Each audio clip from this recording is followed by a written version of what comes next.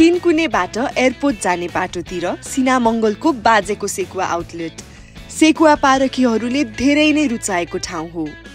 यहाँ आएर six hundred ninety five पर्ने मटन झानेको सेकुवा र खाजा सेटको स्वाद अनि मग मग आउने बास्नाले यो अर्डरलाई वर्थ इट बनाउँछ।